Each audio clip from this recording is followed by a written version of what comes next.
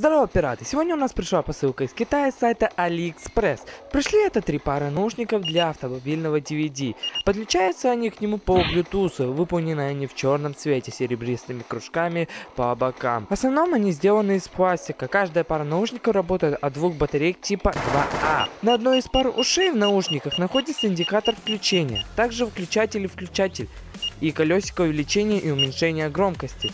На другой же под крышечкой находится отсек для батареи. Также на каждой из пар наушников есть обозначение, где левое, а где правое ухо. К телефону по Bluetooth они не подключаются, и музыку можно будет слушать только со специальным кабелем, у которого на двух концах 3,5 мм джек. Советую иметь с собой не только эти наушники, но и проводные, так как после одного часа уши будут болеть очень, очень. Если вы будете брать проводные наушники, тогда же звук будет и в проводных наушниках, и в этих. Таким образом, можно будет двум людям слушать фильм или музыку с одной парой наушников, имея еще и проводные. И в конце хочу сказать, что это хорошие наушники для автомобильного DVD.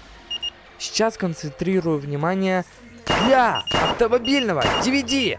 Для того, чтобы слушать музыку с телефона, не подходит. Реально, уши сильно болят, реально. Если вы в этой распаковке хотели увидеть технические характеристики и не получили, то зайдите на сайт продавца. Вы там увидите ничего. Продавец написал ничего полезного про характеристику этого товара. Подписывайтесь на мой канал, поставьте мне лайк и всем пока-пока.